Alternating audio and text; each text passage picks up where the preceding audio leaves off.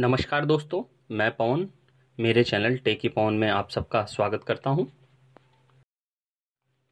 मेरे चैनल पर आपको संपूर्ण मनोविज्ञान, शिक्षा मनोविज्ञान, शिक्षा शास्त्र, बाल विकास, एक्ट्स, राइट्स, एनसीएफ 2005 और जितने भी शिक्षण से संबंधित टॉपिक्स हैं, वो सभी मेरे चैनल पर आपको मिल जाएँगे।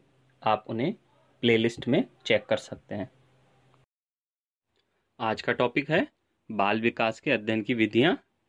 पॉइंट नंबर चार, समकालीन अध्ययन विधि।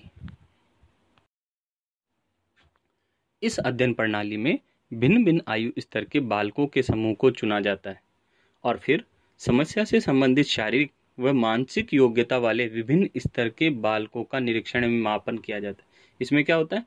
पहले तो बालकों को चुन लेते हैं उनके अलग अलग एज ग्रुप के अनुसार और फिर उनकी जो शारीरिक और मानसिक योग्यता होती है उसके अनुसार उनका ऑब्जर्वेशन किया जाता है, उनका समस्या का अध्ययन किया जाता है। अंत में, आंकड़ों के औसत मानों के आधार पर विकास के क्रम को ज्ञात कर लिया जाता है।